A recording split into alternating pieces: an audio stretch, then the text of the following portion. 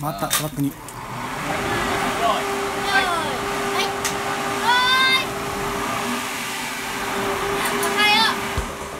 サラちゃんの魅力は撮影をすればするほど私サラちゃんのことが大好きになってしまって人間的な強さがすごいある子なのでサラちゃんが現場にいたからこそ回ったシーンもいっぱいありました。いちごの、えっと目隠しのままの独白が始まってこのシーンは終わりになります。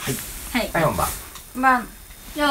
はいあなたたちの気持ちとか人の過去とか今までどこでどうやって誰とどうしてたかとか全部どうでもいい。どうだっていい。あとはい。OK です。オッケ酒井監督はどんな方なんだろうって思ってここ現場に入ったんですけど私の思っていた以上にあんな可愛らしい方なのに中身がすごく男勝りな部分があるというかすごくなんかしっかりしてらっしゃってすごいいろいろ考えてこう言ってくださることが本当に的確で心強いなって思いました。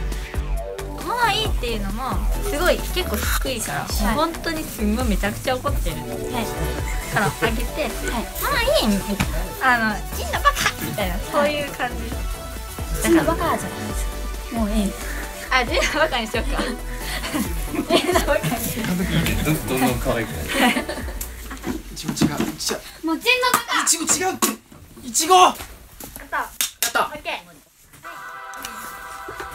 自分は他の人と一緒にやって自分の思っていることがそれ以上になることがすごい魔法のように感じててその瞬間がすごい好きなんですね。